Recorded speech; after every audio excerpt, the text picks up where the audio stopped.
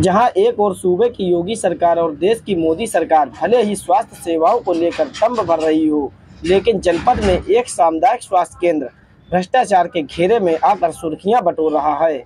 ऐसा ही एक मामला जालौन जनपद के सामुदायिक स्वास्थ्य केंद्र कालपी से सामने आया है, जहाँ कालपी कोतवाली क्षेत्र के अंतर्गत राड दिवारा गाँव से प्रसव कराने आई गर्भवती महिला के परिजनों ने ड्यूटी में तैनात नीरज पाल नामक स्टाफ नर्स पर पैसे मांगने के आरोप लगाए हैं। वहीं गर्भवती महिला के परिजनों ने बेटी होने की खुशी में स्टाफ नर्स को ग्यारह सौ रुपये दिए थे, लेकिन स्टाफ नर्स को ये पैसे नागवार गुजरे और आग बबूला होते हुए रुपए फेंक दिए और दो हज़ार रुपये देने की बात कही।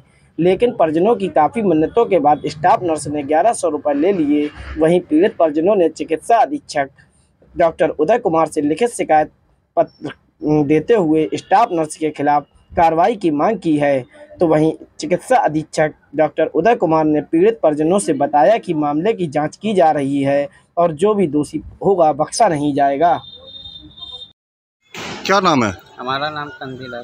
कहाँ के रहने वाले हो? दीवारा यहाँ पर कालपी सामुदायिक स्वास्थ्य केंद्र है। क्या मामला है? हमारे यहाँ डिलीवरी करवाने की थी। किसकी डिलीवरी? अपनी बीवी की।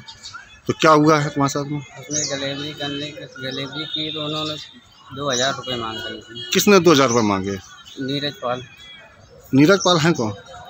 ये यहाँ के नर्स आएँगी तो दो- दो हज़ार रुपये मांगे थे? जी। तो क्या आपने दो रुपये दिए उनको? उनको दो ग्यारह सौ रुपये दे रहे हैं तो फेंक दिए थे उन्होंने। कह रही दो हज़ार रुपये चाहिए। ग्यारह रुपये फेंक दिए तो दो हज़ार रुपये चाहिए। हाँ तो ज़बरदस्ती आपसे मांगे जा रहे रुपये क्या? हाँ ज़बरदस्ती मांगे जा रहे तो हम लोग उसको हमने ग्यारह सौ रुपये दिए थे।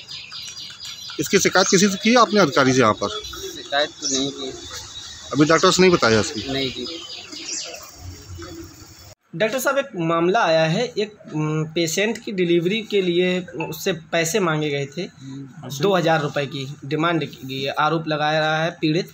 क्या है पूरा मामला? मामला देखिए मेरे संज्ञान में आया है ओरल आया है, और जैसे ही मैं मॉर्निंग में पहुँचता हूँ तो मैं जाँच करने के लिए तैयार हूँ। और अगर दोषी ने, अगर ऐसा किया, दोनों पक्षों का निर्णय लूँगा मैं प्रथम पक्ष का निर्णय मैंने सुना है, दूसरे पक्ष को भी देख लूँ, और अगर वो दोषी मेरा स्टाफ हो या कोई भी हो, मैं किसी भी सूरत में उनको बख्शूँगा नहीं और उनको किए हुए कानूनी सज़ा निश्चित रूप से मेरे द्वारा या अपने उच्च अधिकारी को अवगत कराते हुए दी जाएगी।